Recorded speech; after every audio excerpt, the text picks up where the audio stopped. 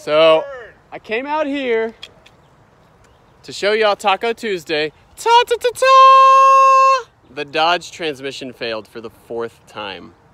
So I fixed the Dodge transmission. That is the Taco Tuesday surprise.